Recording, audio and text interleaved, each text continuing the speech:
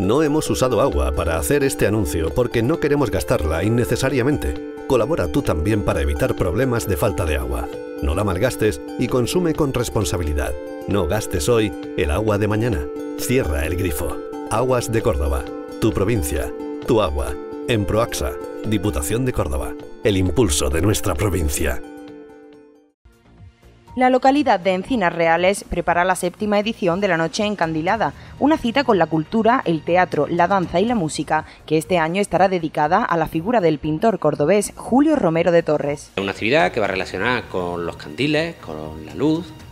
El ayuntamiento corta eh, la iluminación artificial por la noche, desde las 10 de la noche hasta las 12 y pico de la noche tenemos todo el pueblo oscura iluminado con la luz de velas, de candiles, de reculos mm, corchos, o sea, de, un montón de, artilugios, que casi todos caseros, eh, que decoran las calles y decoran las fachadas, que lo que decía antes de, de la participación ciudadana.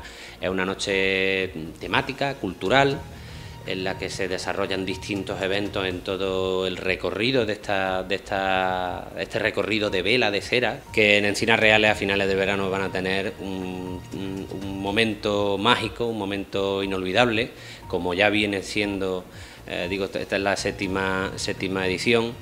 Eh, cada año nos vamos superando. El año pasado contabilizamos cerca de 6.000, a puntito estuvimos de llegar a las 6.000 visitas y esperemos que este año podamos superar esa, cifra. La luz se apagará em, a las 10 de la noche, pero previamente desde las 8 y media las 9 pues ya está todo preparado y ya empieza empezamos a recibir visitantes que este año concretamente pues tenemos previsto hacer un más, más hincapié en atención a todos los visitantes, entonces tendremos una zona de recepción donde se le informará, se le dará un folleto con todas las actividades desarrolladas durante la noche, al mismo tiempo también tendremos un pequeño obsequio para los niños y para los mayores.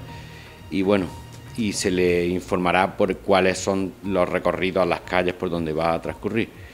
Y terminará pues a las 12 de la noche en el último, eh, con el último espectáculo musical que eh, será en la ermita del Calvario. Este verano no vas a ir a la playa, no descubrirás rincones con encanto, no vas a probar cosas nuevas ni a saborear cada momento. No vivirás experiencias inolvidables, no vas a relajarte ni a descansar. Este verano, en Andalucía, lo harás todo intensamente.